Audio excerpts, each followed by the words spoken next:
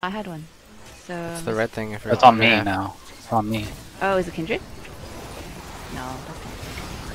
it was. It looked like he went so far. I popped him up. I popped him up with my Q, and then he flipped him. So it took him from his his oh. height from before. It was too high there. That was weird.